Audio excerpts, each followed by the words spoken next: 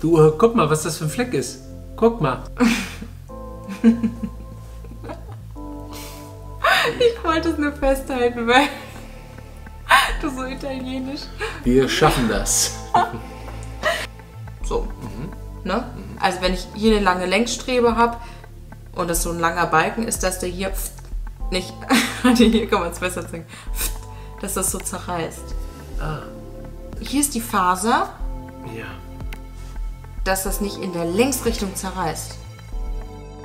Hallo, Hi, schön, dass ihr wieder dabei seid. Wir sind Anja. und Ilan und haben mal wieder ein bisschen Material vorbereitet. Ein paar Tabellen. Im wahrsten Sinne des Wortes. Wir vergleichen nämlich heute einige Materialien ähm, für unseren Innenausbau. Und ganz wichtig und ganz vorne dabei ist natürlich mal wieder das Gewicht. Welche Materialien das sind und welche Vergleiche wir so aufgestellt haben und was uns wichtig ist, das erfahrt ihr heute. Wie wir das in der letzten Woche ja auch schon angerissen haben, haben wir uns seit Wochen eigentlich schon mit verschiedensten Materialien auseinandergesetzt, geguckt, welche sind besonders leicht, aber auch stabil.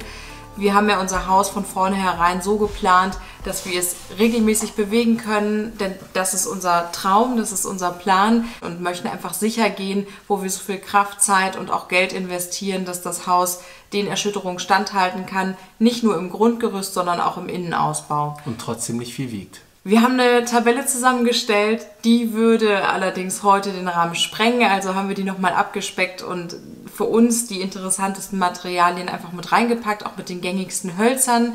Möchten euch zunächst natürlich erstmal auch ein bisschen was erzählen über Hölzer allgemein. Für uns war es eigentlich ein recht neues Thema auch. Und vorab ist auch ganz wichtig, wir haben verschiedenste Quellen, die wir wie immer in die Infobox unten packen. Wir können nicht garantieren, dass das alles richtig ist. Seht es als Richtwerte, als Inspiration. Und wir freuen uns natürlich von allen Holzkennern und Erfahrenen, wenn ihr Werte korrigiert, wenn sie fernab der Realität sind, was wir natürlich nicht hoffen. Es gibt rund 25.000 Holzarten auf der Welt. Davon werden wohl 600 bis 800 verschiedene gehandelt. Und das bedeutet, es gibt nicht das perfekte Holz für alles. Jedes Holz hat seine spezifischen Eigenschaften. Das schon mal vorab. So hat man beispielsweise einmal die Laubhölzer und einmal die Nadelhölzer. Zu den Laubhölzern gehören beispielsweise die Buche, Eiche, Esche, Edelkastanie und da sagt man, dass sie schwerer und fester sind und sich eigentlich ganz gut für den Innenausbau und im Möbelbereich eignen. Bei den Nadelhölzern, das wären beispielsweise die Fichte, Tanne, Lärche, Kiefer, Douglasie, dass diese eine lange Lebensdauer haben, einen geraden Wuchs und geringe Dichte und sich daher auch ganz gut als Bauholz eignen. Dann gibt es noch die Tropenhölzer. Tropische Bäume wachsen ja allgemein in einem konstant warmen, feuchten Klima, sind langlebiger und dauerhaft, von Natur aus sehr resistent und haben eine sehr hohe Lebenserwartung unter hohen Anforderungen. Wir haben jetzt drei Tropenhölzer mit aufgenommen. Einmal Paulovnia oder auch Kiri genannt, Okume und Balsa. Die gehören jetzt natürlich nicht gerade zu den resistentesten ihrer Art, aber wir haben sie natürlich mit aufgenommen, weil sie sehr leicht sind. Dann gibt es natürlich aus Holz noch verschiedene Werkstoffe, die vor allem meistens günstiger sind und auch gerne für Konstruktion im Innenausbau verwendet werden. Die wollen wir euch nicht vorenthalten. Es gibt natürlich auch wieder viel mehr, als wir jetzt erwähnen. Das waren aber die, die uns so ein bisschen was gesagt haben, mehr und weniger. Zum einen wären da das Vollholz, klar. Einmal das BSH, Brettschichtholz oder KVH Konstruktionsvollholz. Das haben wir bei uns im Haus auch für das Ständerwerk verwendet.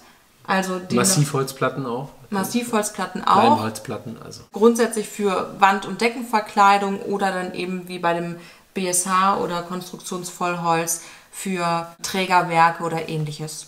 Für den Möbelbau gibt es dann auch Furnierwerkstoffe, entweder Sperrholz oder Furnierschichtholz, heißt es, glaube ich. Furnierschichtholz. Ja, genau, ich, Furnierschichtholz. Also gerade Sperrholz hatte uns da jetzt was gesagt, war ein gängiger Begriff.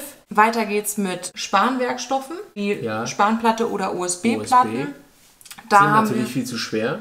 Die sind sehr schwer, das zeigen wir euch gleich in der Tabelle. Wir aber erwähnen sie trotzdem, weil nicht jeder muss aufs Gewicht achten, wie wir. Genau, und sie sind einfach günstig und wir haben online auch total viele Bauanleitungen, gerade jetzt während wir unser Küchenmodest planen, äh, mit OSB-Platten gefunden. Dann gibt es noch Faserwerkstoffe wie MDF-Platten und zu guter Letzt, jetzt gucke ich gerade mal drauf, Verbundwerkstoffe, genau, wie die Tischlerplatte. Die wird auch gerne mal verwendet für den Innenausbau oder für Möbel. Mhm. Da haben wir jetzt selbst aber noch keine Erfahrung mit. Es gibt aber natürlich auch noch weitere Werkstoffe und neueste Innovationen. Das ist auch super spannend. Mhm. Grundsätzlich gibt es ja diese, diese Art von Sandwich-Elementen. Wir blenden das parallel mal ein, dass man sich das ein bisschen besser vorstellen mhm. kann. Das Ganze besteht immer aus einer Decklage, zum Beispiel als Holzspannplatten. Und dann gibt es noch die leichte Füllung, die dann entweder aus Wabenwell oder Höckerkern besteht, die dann meistens aus recycelten Pappkarton oder ähnlichem. Das macht diese Leichtigkeit aus eigentlich total schön, wenn Materialien recycelt werden. Ich glaube, früher gab es auch immer mal Probleme mit, mit Giftstoffen, heute jetzt wohl nicht mehr so. Mhm. Also da einfach auf eine gute Qualität achten. Aber man kann enorm sparen und diese Luftlöcher natürlich auch toll für Leitungen oder ähnliches verwenden. Wir haben ja einmal ähm, die Rohdichte. Das ist eigentlich im Grunde das Rohgewicht, wenn man so will. Eigentlich eine der wichtigsten Eigenschaften für uns, da sie fast alle Eigenschaften beeinflusst. Die Festigkeit und die Wärmeleitfähigkeit. Wir fanden es total beeindruckend, dass nicht nur, dass es nicht nur weltweit so viele verschiedene Hölzer gibt, sondern dass die Gewichte auch so, so unterschiedlich sind. Also von, von 100 Kilo pro Kubik bis hin zu 1200. Dann haben wir noch die Druckfestigkeit, also den Widerstand eigentlich. Wie viel Widerstand leistet das Holz, wenn Druck oben rauf kommt oder wenn es äh, Druck ausgesetzt wird. Wichtig für Konstruktion natürlich, wie Gerüste, Pfosten, ein Stuhl oder ganz einfache Tischbeine. Je kürzer der Körper, desto höher die Druckfestigkeit. Das macht auch Sinn für uns. Ja, eigentlich also, schon. Klar, das bei einem kurzen Stück, dass sich das Holz nicht so durchbiegt, wie bei einem ganz langen ja. Stück, wo es dann in der Mitte natürlich. Und je höher die Holzfeuchte, desto geringer die Druckfestigkeit. Das macht dann auch Sinn.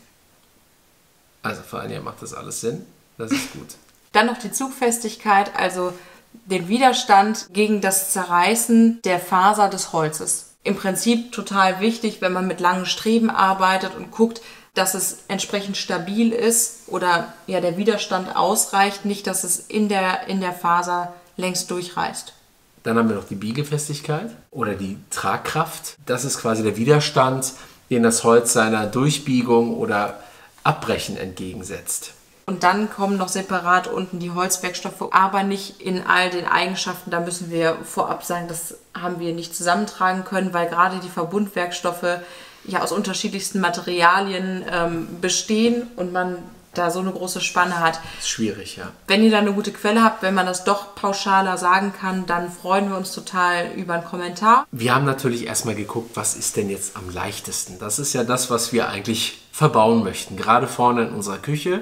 Balsa-Sperrholz. Balsa-Sperrholz. Dann haben wir uns so ein bisschen über Balsa-Sperrholz erkundigt. Dann haben wir zum einen die Druckfestigkeit, Zugfestigkeit, Biegefestigkeit und merken relativ schnell, Nein. für Modellbau ja, für die Küche nein. Nicht für unsere Küche jedenfalls. Die Druckfestigkeit bei Palovnia ist jetzt nicht sehr viel höher. Ja, also das Verhältnis vom, von Stabilität zu Gewicht hat uns eigentlich ganz gut gefallen bei Palovnia. Deshalb ist es auf jeden Fall noch im Rennen. Dann ist noch markiert die Fichte. Klar, die Fichte ist für uns auch spannend. Unser Ständerwerk besteht aus Fichte. Wir wissen, dass es ein sehr, sehr stabiles Holz ist und wir einfach nur überlegen müssen, wie können wir das gezielt einsetzen, mhm. weil es in der Summe, gerade auch wenn wir an unser Küchenmodest denken, trotzdem zu schwer sein wird.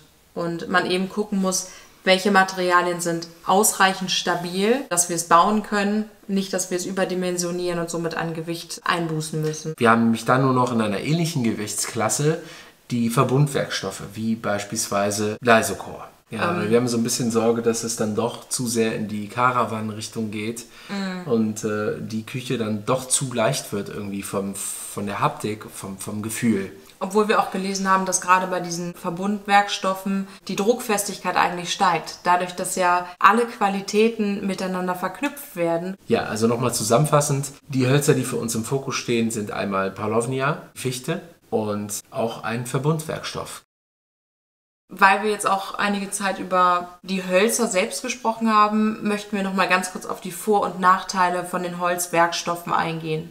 Die Vorteile von einem Holzwerkstoff sind die große Homogenität, eine höhere Tragfähigkeit im Vergleich zu Massivholz jedenfalls. Es verzieht sich weniger, zusätzlich schwinden und quellen Holzwerkstoffe in der Regel deutlich weniger als Massivhölzer. Man ist relativ flexibel in den Maßen und sie sind günstiger.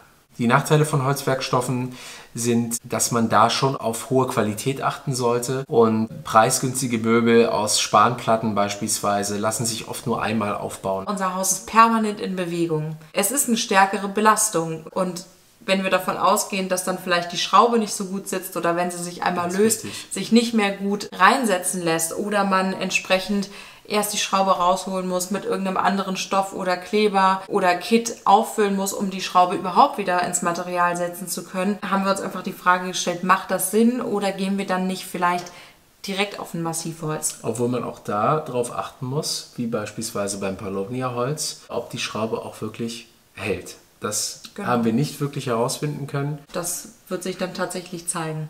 Ja. Was wir natürlich versuchen, wenn wir uns für ein Material oder Materialien entschieden haben, erstmal zu ermitteln, wie viel Holz brauchen wir ungefähr. Das wird wahrscheinlich noch ein bisschen Zeit in Anspruch nehmen, sodass wir dann im besten Fall den größten Schwung einmal liefern lassen können. Dann hat man nicht so viele Transportkosten. Wir können uns vielleicht ja in der Summe auch ein bisschen Geld einsparen und haben im besten Fall auch die bessere Qualität, als wenn wir alles separat im Baumarkt kaufen würden. Wir haben noch nichts Konkretes, wie gesagt, wir, wir sind jetzt noch dran. Und dann werden wir auch schauen, was wir dafür bezahlen müssen. Sicherlich spielt das auch eine wichtige Rolle. Ja, wir haben mal wieder genug von Tabellen jetzt. Ihr vielleicht auch. Ich denke mal, das reicht. Und äh, wir hoffen, dass euch das Video trotzdem auch in eurer Entscheidung für das passende Holz helfen konnte. Und nächste Woche werden wir euch vielleicht den ersten Entwurf unseres Podests mal vorstellen. Das kommt darauf an, wie gut wir jetzt noch vorankommen mit der Planung. Wir müssen nämlich vorankommen, damit wir endlich unsere Holzbestellung aufgeben können. Ansonsten abonniert gerne den Kanal, wenn ihr erfahren wollt, wie es hier weitergeht. Bis nächste Woche. Au revoir.